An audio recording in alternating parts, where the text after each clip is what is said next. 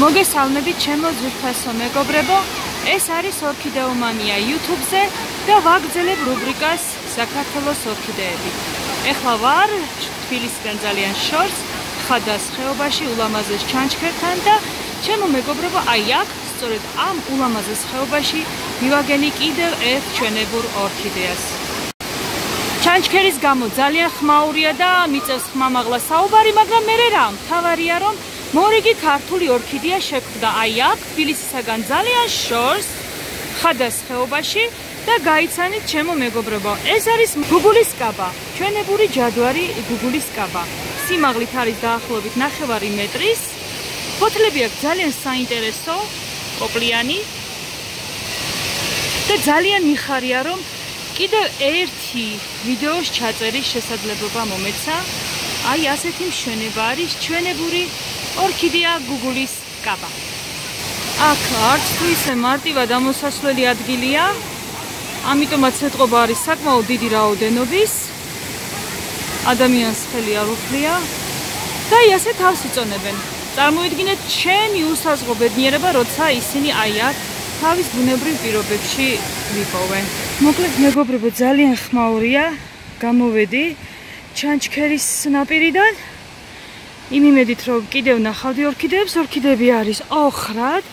ოღონდ არის ძალიან მიუდგომელი ადგილი. აი ეს არის ულამაზესი ხადარ ჩანჩქერი და საერთოდ ძალიან ლამაზი ხეობა. აქ ცოტა რთულია საუბარი, ამიტომ როგორც ყოველთვის შემდეგ უკვე შემდეგ კადრებში მოვიშველიებ სლაიდებს, სადაც უფრო დეტალურად აღწერ თუ რა არის ჩვენებური ორქიდეა ჯადვარი. ძალიან ციცაბო ნაპირები მაქვს ასავლელი ასე რომ თუ სადმე უკეთეს ადგილზე შევხვდი ორქიდეას. არა ისე ციცაბო დაღმართზე კიდევ უფრო ახლოდან გადავუღებ შემდეგ კადრს. აი ეს არის ხეობა რომელსაც აუცილებლად უნდა ესტუმროთ. ერთი იმიტომ რომ ლამაზია მეორე იმიტომ რომ აი აქ დაბლა ოხრად არის ჩვენებური ორქიდეები მეგობრებო, საკმაოდ საინტერესო ორქიდეა აღმოჩნდა და დიდი სიამოვნებით ვეცნობოდი მასალებს, რაღაც ზოგადი ინფორმაცია მქონდა, მაგრამ თურმე ძალიან მწირე. ამ ორქიდეას ლათინურად ჰქვია ძალიან საინტერესო სახელი, რომელიც პირველ და მეორე ჯერზე ვერ ამოვიკითხე და დამეხმარნენ პროფესიონალები. მისი სახელია დაქტილორიზა. ბერძნული სიტყვიდან ეს არის წარმოებული სიტყვა, რომელიც პირდაპირ თარგმანში ნიშნავს თითებ ფესვება ან ხელის ფესვება.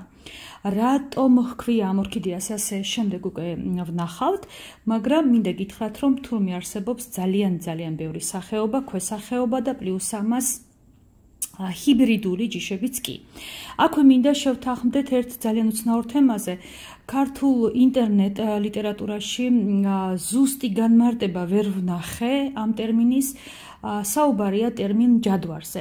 უმეტეს შემთხვევაში ქართულენოვან ლიტერატურაში ჯადვარად მოხსენიებულია ის ორქიდეები, რომლებიც გავრცელებას პოვებენ საქართველოში და სხვა ენაზე, ინგლისურად და რუსულად მაგალითად, ეს არის ground orchid, მიწის ორქიდეა, ხოლო რუსულად არის იატრიშნიკ.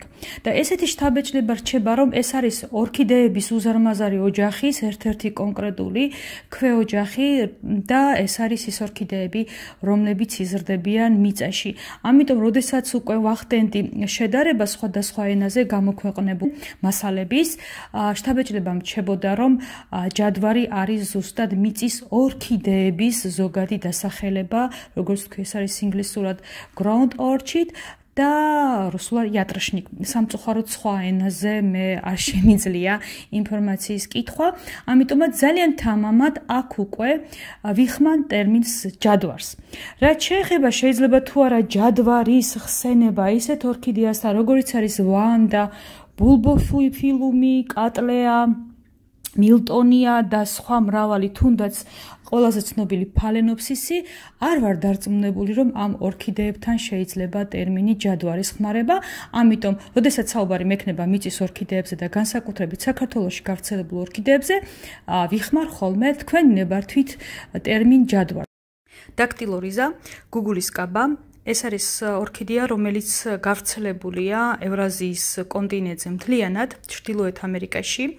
აა, ну, აღწერილობიდან ჩანს, რომ გავრცელებულია ჩრდილოეთ ნახევარსფეროში დედამიწის, მაგრამ მე მგონია, რომ სამხრეთშიც არის უბრალოდ ამის შესახებ არ წერია. ესე იგი, არის დაახლოებით 100 სახეობა სხვადასხვა რიცხვებს ხვდები, მაგრამ 100-თან მიახლოებული იყო უმეტეს შემთხვევაში. უფრო მეტი ქვესახეობა და 70 ჰიბრიდიც თურმე. და რაც საინტერესოა, ჩვენი მოსაზღვრე ქვეყნების უმეტესობაში ეს ორქიდეა, ეს ჯადვარი შეტანილია წითელ წიგნში. რაც შეეხება საქართველოს წითელ ნუსხას, იქ ვერ ნახე ჩანაწერი დაქტილორიზას შესახებ, ამიტომ ვერ ვიტყვი დარწმუნებით, რომ საქართველოს წითელ ნუსხაშიც არის შეტანილი ჯადვარი Google-ის კაბა. ძალიან საინტერესო აღწერილობა აქვს. იზრდებაო ლამის 1 მეტრამდე. სიმაღლეში ღრმად ზის საკმაოდ ნიადაგში. აქვს ორ გვარი ფოთლები, ძირში უფრო მრგვალი, მომრგვალებული ოვალური ფოთლები, ხოლო ყვავილის თავთავისაკენ არის წაგრძელებული ლანცეტისებური ფოთოლი. გაყვავილებამდე თავთავს აქვს პირამიდის ფორმა, ხოლო შემდეგ უკვე სერიოზულ მტევანს თუ თავთავს იკეთებს ყვავის ძირიდან და საკმაოდ ესეთი დიდარი ყვავილობაც კი აქვს. ხდება ფერი მენისფერის ყველა გამა, ვარდისფერი, წითელი, ყვითელი ფერი, კრემისფერი, თეთრი, ცისფერი. არის ერთი მთლიანი ფერის შეფერილობის ყვავილი და არის ჭრელებიც. ასევე საინტერესოა ის, რომ ჩვენ გვაქვს რამოდენიმე ენდემური სახეობა, დაქტილორიზა კავკასია, დაქტილორიზა იბერიკა. გასაგებია, მათი გავრცელების არეალი უმეტეს შემთხვევაში არის მათ შორის საქართველოც, თუმცა საკმაოდ ფარგლებს გარეთ არის გასული ეს ორქიდეა, მაგალითად დაქტილორიზა იბერიკა ესპარეთიდან თურქეთამდე თუ ირანამდე არის თურმე გავრცელებული. ყოველ შემთხვევაში ასე წერია. ძალიან საინტერესო ფორმის ფესვი აქვს და მისი დასახელება დაქტილორიზა ზუსტად ამ ფორმის ფორმიდან არის გამომდინარე. აქვს ხელის მტევნის თითებიანი ხელის მტევნის ფორმა და როგორც თქვი, დაქტილორიზა ბერძნულის სახელწოდება და თითებ ფესვებას ნიშნავს. აქვს ორი ტუბერაკი ძველი და ახალი, ძველი ტუბერაკიდან გამოდის ღერო და ახალი ტუბერაკი და ფაქტობრივად ძველი ტუბერაკი არის ხოლმე მასაზრდოებელი წყარო, მთლიანად მცენარის და ახალ ტუბერაკს იყენებს იმისათვის, რომ მომავალი წლისათვის მოახდინოს რესურსების დაგროვება. ფოთლების ფერიც სხვადასხვა შეიძლება ჰქონდეს Google-ის კაბას. არის მწვანე ფერი, მუქი, ღია და ასევე შეიძლება იყოს მწვანე ფონზე მუქი, წითელი, ყავისფერიან მოშავო ლაქებითაც კი წერტილებით. ჩემს ვიდეოში დააკვირდებოდით, რომ ფოთოლი არის კოპლიანი და თუ კარგად დააკვირდებით, მცენარეს ორი სხვადასხვა შეფერილობის ყვავილი შემხვდა, ერთი მელნისფერი, ღია ფერის არშით, ხოლო მეორე იყო ღია მელნისფერი, უკვე ფხაჭებიანი.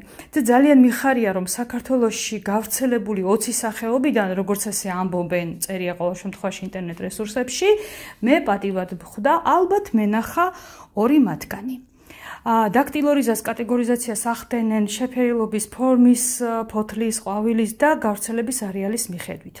გავრცელების არეალი როგორც წესი ეს არის ხოლმე დაუსახლებელი ადგილები და რატო?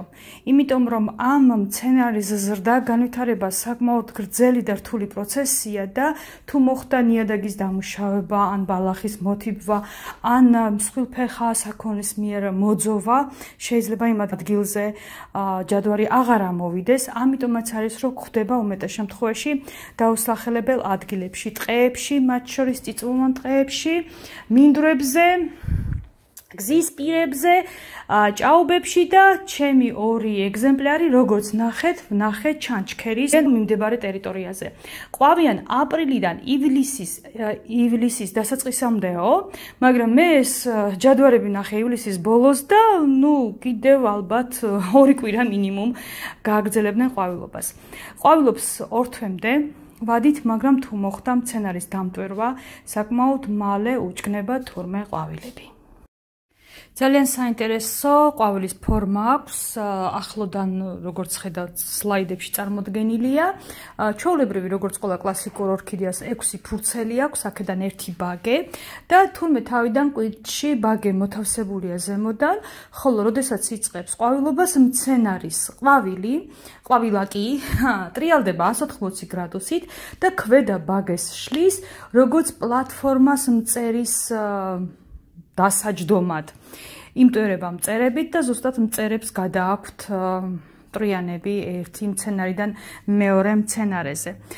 აა ძალიან საინტერესო ამბავი არის ის, რომ თურმე არ უყარს მეზობლები. იმიტომ რომ ვერიტანენ კონკურენტებს დამტვერვის თვალსაზრისით და აა ასე არის ხოლმე რომ სხვა მცენარეებისაგან ცოტა მოშორებით შეიძლება შეგხვდეს აა ჩვენ ჯადვარები, ეს ჯადვარები და როგორც თქვი, უმეტეს შემთხვევაში არის დაუსახლებელ ადგილებში, რადგან ნიადაგის ქიმიური შემადგენლობის ცვლილება ან მცენარის ზედაპირიდან მოჭრა განაპირობებს მის მთლიანად ტუბერაკის დაღუპვას. ჯადვარი გუგულის კაბა საინტერესოა სამედიცინო თვალსაზრისითაც. ა ზუსტად ისეთ ჯადვარს არჩევდნენ ხოლმე, რომელიც ტუბერს აქვს ხელის მტევნის ფორმა და სხვადასხვა ხსნარი კეთდება ძველი თუ ახალი ტუბერისაგან.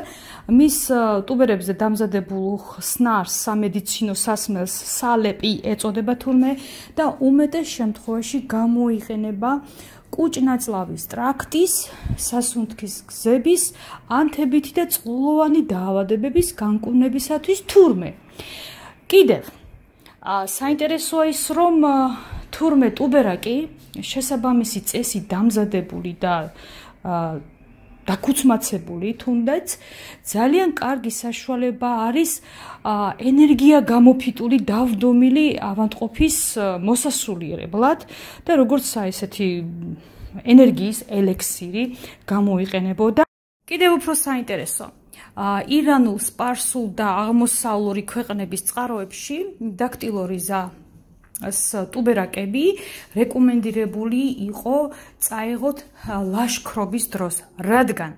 თუმცა ეს ყოფილა ძალიან დიდი ენერგაიზერი და თუნდაც შიმშილობის დროს, მაშინ როდესაც მებრძოლებს არ ქონდათ, არ ეკნებოდათ საშუალება, რომ მიეღოთ პროდუქტები, საკვები, 40 გრამი ეწერა, მე მგონი 40 გრამი ტუბერაკის ფხვნილი, რომ მიეღოთ, საკმარისი იყო დღის განმავლობაში იმისათვის, რომ არამხოლოდ მოეკლათ შიმშილი, არამედ ყოფილიყვნენ ენერგიაზე. აი ესეთი საინტერესო მცენარე ყოფილა თურმე ჩვენი ჯადვარი გუგულის კაბა. რა გვაინტერესებს ჩვენ ორქიდეომანებს უფრო მეტად? შეიძლება თუ არა, ჯადვარი გუგულის კაბა აა ვიყოლიოთ ეზოში ან ქოთანში. ღია გრუნტში ეზოებში კულტივაციის შემთხვევები არსებობს და მათ შორის საქართველოს და მათ შორის თბილისის და თბილისის შემოგარენში გავეცანი რომ ესეთი შემთხვევები არსებობს. გარცილებით უფრო მარტივია თურმე გვიყოლიოთ ეს ორქიდეები ნიადაგში ვიდრე მაგალითად ქოთანში და რატო ჯერ ეგერთი რომ მისი გამრავლება საკმაოდ რთული თემაა ისე როგორც ყველა სხვა ორქიდეის. ჯადვარი მრავლდება ან თესლით ან ტუბერაკით და საკმაოდ გრძელი და რთული პროცესი ყოფილა. ჯერ მიწის ქვეშ რამოდენიმე წლის მანძილზე, 3-4 წლის მანძილზე იმაგრებს და იმყარებს პოზიციებს, მერე უკვე მეოთხე წელს შეიძლება ამოიწვეროს მიწის ზედაპირზე და ყვავილობას იწყებს მერვე მე-6-ე მერვე წელს თურმე. საკმაოდ ხანგრძლივი პროცესი ყოფილა და ზოგადად მისი კულტივაციის პრობლემა დაკავშირებულია იმ სიმბიოზ სოკოებთან და ბაქტერიებთან, რომლის გარეშეც არ შეუძლია ჯადვარს არსებობა. თუ მოხდა ნიადაგზე ნებისმიერი ფორმით ზემოქმედება, ბალახის საფარის შეცვლა, თუნდაც მხოლოდ მოხვნა, ეს ცვლის ნიადაგის ქიმიურ და ბიოლოგიურ სტრუქტურას და შესაბამისად ჯადვარების ტუბერაკები იღუპებიან. ამიტომ არის რომ ამ მცენარის კულტივაცია თუნდაც ღია გრუნტის ქვეშ, თუნდაც ქოთანში არის საკმაოდ წამგებიანი საქმე. ღია გრუნტში კიდევ თუ დავიცავთ გადარგვის სპეციალურ წესებს, შესაძლებელია რომ მომდევნო წლებში გაგვახაროს ამ მცენარემ ხოლო რაც შეეხება ქოთანში კულტივაციას, ეს არის აბსოლუტურად წამგებიანი საქმე, რადგან პატარა არეალზე, პატარა ფარცზე თითქმის შეუძლებელია შესაბამისი ქიმიური და ბიოლოგიური ბალანსის დაცვა და ამიტომ არის რომ უიშვიათეს შემთხვევაში ჯადვარი ამოდის მეორე წელს და კიდევ უფრო უიშვიათეს შემთხვევაში ეს მცენარე ხარობს ქოთანში. ამიტომ ჩემო მეგობრებო, როგორც მეგობარი ორქიდეების და მცენარეების მოყვარული, ასეთი თხოვნა მაქვს, რომ იმედი მაქვს ამ ვიდეოს ბევრი ვნახავთ და აქედან გამომდინარე თუ რა მოვისმინეთ და როგორი ყოფილა ზოგადად ჩვენებური ჯადვარი, შევეცდებით, რომ უბრალოდ ხელი არ ვახლოთ, რადგან მოწყვეტილ მდგომარეობაში ეს მცენარე დიდხანს ვერ ძლებს, საკმაოდ მალე იღუპება და ასეთი ხელოვნური ზემოქმედების შედეგად შეიძლება ჩვენ ტუბერაკის კი დავღუპოთ და იმ ადგილზე, სადაც ოდესღაც ორქიდეები თავს იწონებდნენ, აღარ ამოვიდეს უმშვენიერესი მცენარე. ამიტომ დავტკბეთ იქ, სადაც არიან და ნუ შევეცდებით გადმოტანას ეზოებში და ქოთნებში. იმიტომ რომ ეს არის წარუმატებელი საქმე. სამწუხაროდ ესეა. დავუბრუნდები ჩემს ჩანჩქერს და ბოლო კადრებს უკვე წარმოგიდგენთ ჩანჩქერთან გადაღებულს. ძალიან დიდი იმედი მაქვს, რომ სხვაგანაც შევხვდები ამ საკმაოდ საინტერესო მცენარეს და ძალიან დიდი იმედი მაქვს, რომ საქართველოში გავრცელებული მიწის ორქიდეების უმრავლესობას შევხვდები და გავაგრძელებ ჩემს ვიდეოთა ციკლს საქართველოში მობინადრე ჯადვარების შესახებ. გაოცებული ვარ აქაური ფერებით, აქაური სილამაზით და ხეობით და ვეძებ. და ძებნა-ძებნაში იმდენი საინტერესო რამ ვიპოვე, მაგრამ უბრალოდ ეს ჩვენი ვიდეოს ფორმატი აღარ არის. სამწუხაროდ აქ ინტერნეტი არ იჭერს და შესაბამისად არ მაქვს კავშირი მსოფლიო ქსელთან, სადაც შესაძლებელია ცენარეების დასახელების იდენტიფიკაცია. მე ვაგრძელებ ძებნეს, სადაც კი მელნის ფერს დავინახავ, მივეჭრები, ახლოს არაფერი არ არის და აი ეს ფარდობი. აი ეს. ამოვედი ამ ციცაბო აღმართზე, ფრთხილად რა თქმა უნდა, კამერი და რუგზაკით ხელში მიმედით რომ ორქიდეას ვიპოვიდი, მაგრამ იყო რა თქმა უნდა, მაგრამ ახლოს ვერ მივედი, იმიტომ რომ არის ძალიან ციცაბო. ნაპირი და ცოტა ფრთხილობა არის საჭირო, მაგრამ რაც თავარია დავაფიქსირე ჩემო მეგობრებო. აი ეს არის შესანიშნავი ხეობა და ორქიდეებით სავსე დაღმართი. ჩემო მეგობრებო, რა თქმა უნდა, რუბრიკა საქართველოს ორქიდეები გაგრძელდება. თქვენ თავარია გამოიწერეთ ეს არხი ნებისმიერი ვიდეოს ქვეშ, ხოლო ერთხელ დააჭირეთ სიტყვას წითელ subscribe და თუ უკვე დაჭერილი გაქვთ ეს იმას ნიშნავს რომ ჩვენ უკვე მეგობრობთ და რა თქმა უნდა იმედი მაქვს რომ უახლოეს მომავალში კიდევ გავაკეთებ მორიგ ვიდეოს საქართველოსში მობინადრე ორქიდეების შესახებ და შეგახსენებთ რომ დღეს მქონდა ძალიან სასიხარულო შემთხვევა შეხვედრა ჩვენებურ ორქიდეასთან გუგულის კაბა, ჯადვარი, გუგულის კაბა, როგორც მას აქ ეძახიან. წესით აღარ უნდა ყოფდეს, მაგრამ აქ ცივა. ცივა, საკმაოდ მაღალია ტენიანობა და გადასარევად გრძნობს თავს. სულ ეს არის ჩემო მეგობრებო, ალბათ ჯობია რომ დაგემშვიდობოთ, აი აქ, ამ ულამაზეს ნოტაზე. გაუზიაროთ ერთმანეს გამოცდილება და სასიხარულო ინფორმაცია სასიამოვნო შეხვედრების შესახებ. რადგან ჩვენ შეგვიძლია ეს სამყარო გავხადოთ უფრო ლამაზი.